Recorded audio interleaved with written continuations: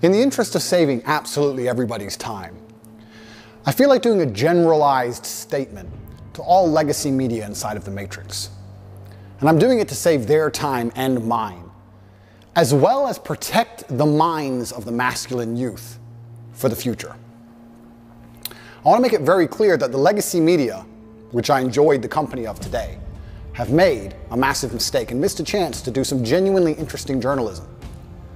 After being unfairly incarcerated in a Romanian dungeon, I thought that even the BBC, in its absolute arrogance and hubris, would be smart enough to come to me after six months, being the first interview I gave to The Matrix, and be smart enough to ask questions people were genuinely interested in. What's it like inside of a Romanian prison cell? How were you treated? Why was a person's liberty deprived of them for six months without charge? How is your mental state post your unfair incarceration? Things people are genuinely interested in hearing. But instead, they came with the same old talking points. And I'd like to address all of these talking points to the Matrix media now to prevent this happening again because it's a monumental waste of everybody's time. I say things on the internet. I've been making content on the internet for a very long time. Finding a clip from 2016, eight years ago, finding a four hour long podcast from 2016, ignoring all context, ignoring everything positive I say about men and women in the world, and taking a single sentence and trying to pretend that's my entire worldview is not the bombshell you think it is. Nobody cares. Everybody understands what satire is. Everybody understands what a joke is. Everybody understands it's the internet. Everybody understands all of these things. Plus, the people who know the truth of my message are very capable of understanding what is satirical and what is true. People are not as stupid as you'd like them to be. Sitting down with me and missing the chance to have a genuinely interesting interview with genuinely interesting questions that people are interested in hearing the answers to, and instead attempting this attack to get this bombshell aha moment is never going to work. Because one, I'm too smart for all of you, and two, nobody cares. Nobody cares I made a joke eight years ago because everybody knows I was joking, and everybody knows the truth of my message.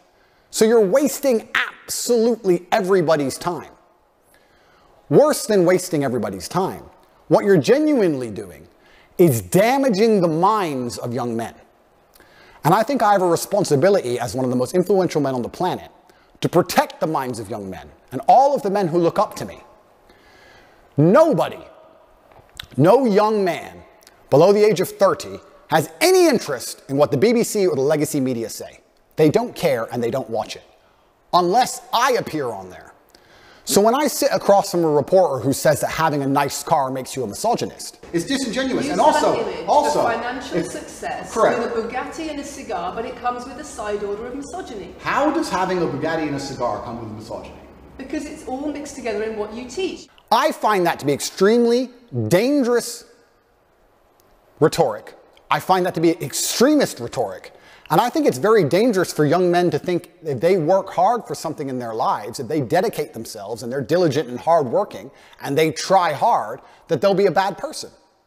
I hate the idea of a world where a man who dedicates himself to excellence so he can enjoy the finer things in life is criticized and ostracized and called horrible names purely because he's been a hardworking male. And I don't like young men hearing these extremist ideas. And they're only going to hear these extremist ideas if they watch the BBC, which is an extremist organization. And they're only going to watch the BBC if I talk to the BBC. So I feel like now that these people have proved themselves to be extremist and very damaging to the minds of young men, I have an obligation to not interact with them very much because I don't want them spreading their extremist propaganda. We have a men's mental health crisis. Young men are disenfranchised. The suicide rate amongst men is much higher than women. And everybody pretends to care.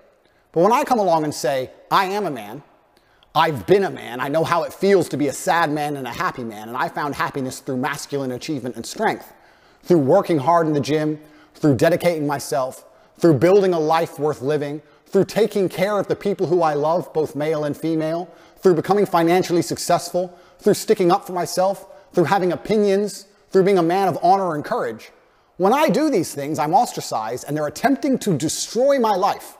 This goes beyond a few media interviews. They are attempting to put me in jail and destroy my life because I am helping young men. They don't care about men's mental health. They have no interest at all. In fact, the ideas they purport, like I've just explained, are genuinely damaging to the mindset of young men. On top of this, they waste everybody's time because their aha moment never works. Nobody's interested in it, and I destroy them with ease. But my hourly rate is high. It's not very fun for me to do. I just do it. It has to be done, but I don't particularly enjoy it.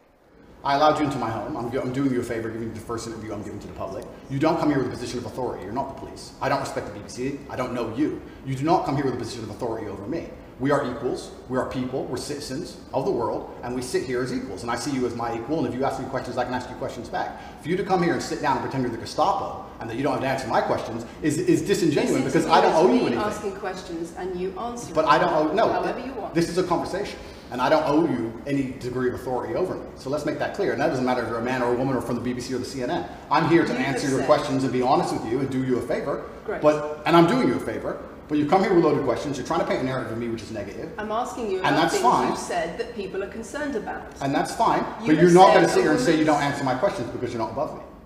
So, in the interest of spreading good and positivity in the world, which is my number one objective, I, have make, I am making this clear to all legacy media outlets.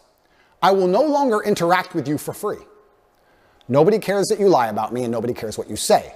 You have destroyed all of your credibility in the last four years of constantly lying about everything. And continuing to lie about me will only destroy your credibility further. I have an organization called Tate Pledge, which you can see. Go to cobratate.com and click at Tate Pledge, and you will see that I dedicate $25 million a year to feeding children, both male and female, in war torn countries. I would like to think that even the legacy media can agree that feeding children in Sudan, or Turkish children after an earthquake, or Syrian children in refugee camps is a pretty positive thing to do for the world. In my last BBC interview, she tried to spin it and say that what I'm doing is somehow negative because I'm only doing it for myself. But this is the level of delusion these people operate under. Because some people would look at that and say, okay, so before you got money from attracting people to your website by making controversial comments, but that might have got you into trouble. And so now you're looking for a new market. You're looking for a new market of followers who are attracted by a different sort of persona. I've always done the charity work, so that is obviously incorrect. And I have proof that I've always done the charity work, so you're wrong. Tate Pledge is funded 100% by me. This is my personal money. But I believe if the legacy media is intent on spreading hate, intent on spreading extremist ideologies, which it seems they are, not only the extremist ideology that men shouldn't work hard, but also a bunch of other ones, which I don't need to mention because most thinking people understand what the legacy media is trying to purport on not only the population, but the young children of the world. And what they are trying to push is far more damaging than me saying you should go to the gym. Therefore, I no longer have any interest with interacting with the legacy media for free because I don't want their extremist views shown to young children without doing some good for the world. My fee from this point onwards is $50,000 and a box of chocolates.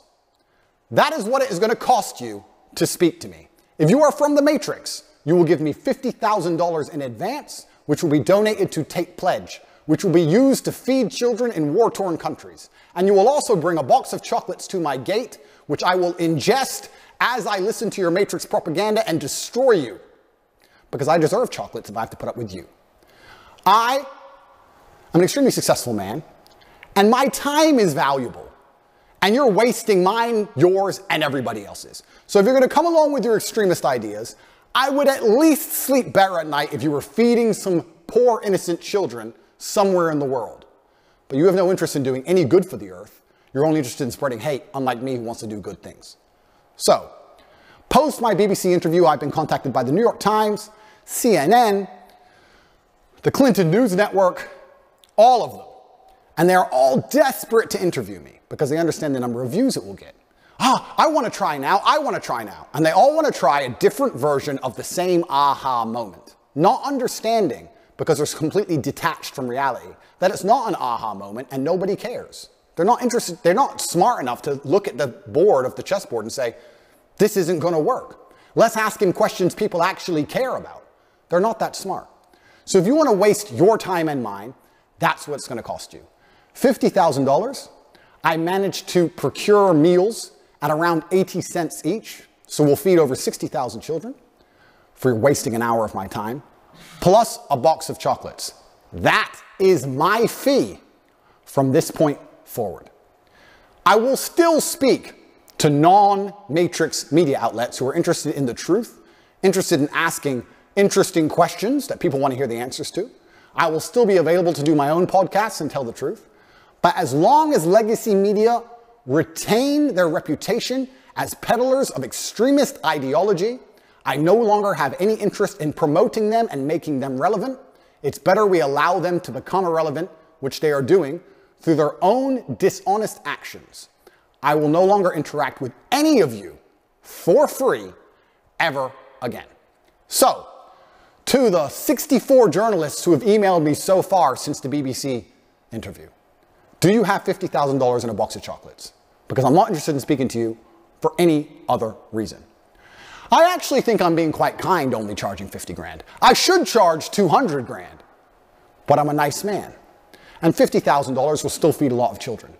I promise any legacy media outlet that pays me the fee can have an interview.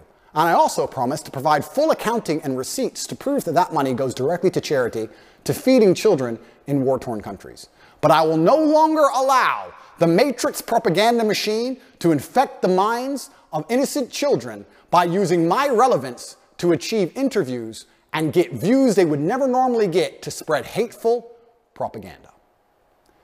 If you can't afford me, you're going to have to go back to just lying about me without speaking to me. Because God knows the truth, I know the truth, most of the world knows the truth, and I genuinely believe that Allah is the best of planners. And whatever happens to me, regardless of whether I am martyred, regardless of whether they put a bullet in my brain, I know what I have done is good for the world, and the things I will do will continue to be good for the world.